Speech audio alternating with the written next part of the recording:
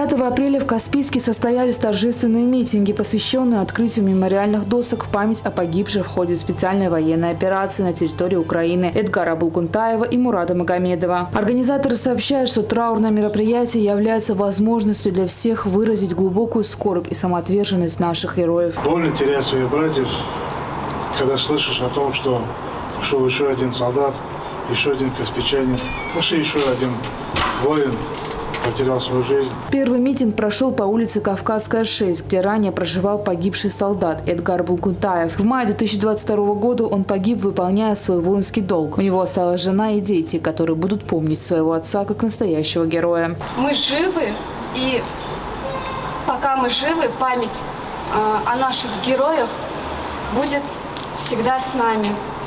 Спасибо, что увековечили память такими мемориальными досками. Никто не знал, что так получится.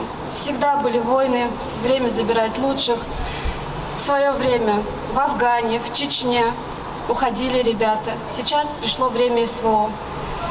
Забрал наших мужей. Вторая мемориальная доска торжественно была открыта по улице Западная 2, где ранее проживал Мурад Магомедов, который отдал более 10 лет работе в ОМОН. Страшная новость пришла в дом Магомедовых 15 мая 2022 года, когда сообщили о смерти прекрасного отца, сына и мужа. Он отдал свою жизнь за мирное небо над нашей головой и будущее своей Родины. Сегодня, как я уже говорил, мы собрались по грустному но какой-то степени торжественному событию, открытие мемориальной доски нашему боевому товарищу Мураду,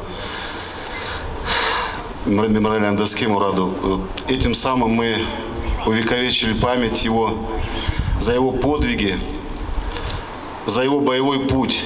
Он выполнил боевую задачу, не прятая за спины своих сослуживцев, друзей.